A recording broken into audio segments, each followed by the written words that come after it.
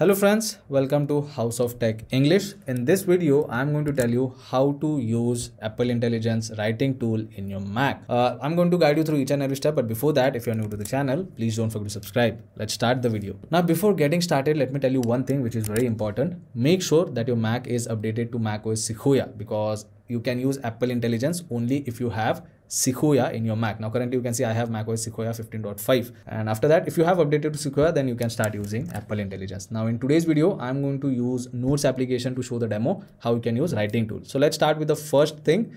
Uh, suppose if you have written something and if you want to check out grammatical errors then you can use proofread which is available in writing tool. First of all uh, make sure to select the text. After selection just go and select this uh, writing tool option over here on the top and once you do that you will get proofread option over here. So as soon as you tap on proofread what it will do is it will scan the text completely and within few seconds it will highlight the changes it has made. So these were the mistakes these were the grammatical errors which it has corrected. So if you want to keep the change you can select done option but if you want to go back to the way it was you can select revert option. So if i select revert the mistakes are still going to be there but if you want to correct it use proofread now let's talk about the next feature which is rewrite. You can simply change the tone of the written text.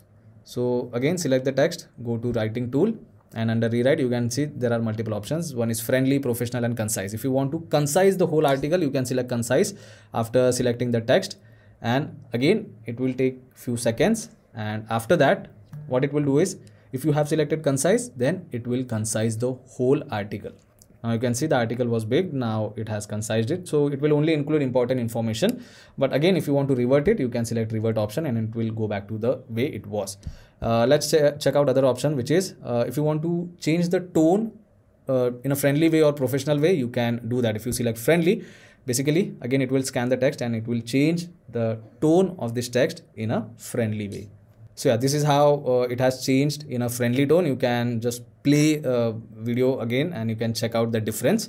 So this was friendly way and if you want to go with professional way again you can select the text and select professional over here. Now if you want to add some other tone you can just simply select compose option over here.